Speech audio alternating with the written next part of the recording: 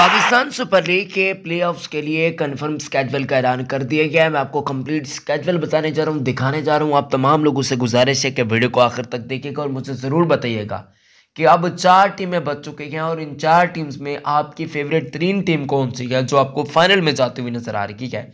अभी के अभी कमेंट्स में मुझे बता दोस्तों अगर हम बातचीत करते हैं तो यहाँ पर चार टीम सब बच चुकी हैं। डिफेंडिंग चैंपियन लाहौर कलंदर का नाम तक नहीं लिया जा रहा क्योंकि वो क्वालिफाई नहीं कर पाई। कराची किंग्स हमेशा की तरह बाहर हो चुका है। जबकि आप लोग जानते हैं कि कोयटा इस्लामाबाद यूनाइटेड और इनके साथ साथ आपको बताते चलें कि पिशावर और मुल्तान की टीमें सेमीफाइनल के लिए या फिर आप कह सकते हैं कि प्लेऑफ्स के लिए अगले मरहले के लिए क्वालिफाई कर चुकी है। अब यहाँ पर जो पहला मैच होने जा रहा है, वो चौदह मार्च को होने जा रहा है। ये क्वालिफायर मैच होगा मुल्तान सुल्तान बामुकाबला पिशावर जलमी। नेशनल स्टेडियम के अंदर ये मैच खेला जाएगा और ये मैच रात के नौ बजे शुरू होगा। उसके बाद 15 मार्च को एलिमिनेटर नंबर वन खेला जाएगा, जो कि इस्लामाबाद यूनाइटेड में मुकाबला कोटा ग्लेडिएटर्स होगा।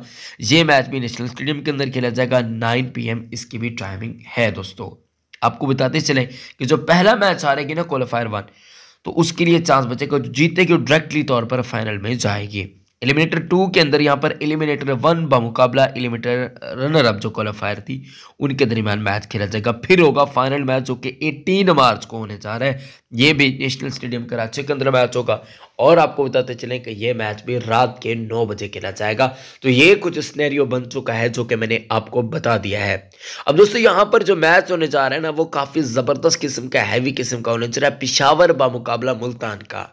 जो टीम बिहारी, उनके पास एक मजीद चांस बचेगा कि वो आगे चलकर एलिमिनेटर के अंदर मैच जीत जाए और फिर वो सेमीफाइनल से फाइनल के अंदर चले जाए। क्योंकि सेमीफाइनल मरला असल में एलिमिनेटर वाला ही होता है, लेकिन वहाँ पर सिर्फ़ एक टीम ही डिसाइड करेगी तीन टीम्स बाकी बचेंगे। ये कुछ इस तरीके की क्वालिफिकेशन होती है, जो कि हमें पाकिस्तान सुपर लीग के अंदर हमेशा से देखने को मिलती है। तो वो आपको एक मरतब फिर देखने को मिलने जा रही है।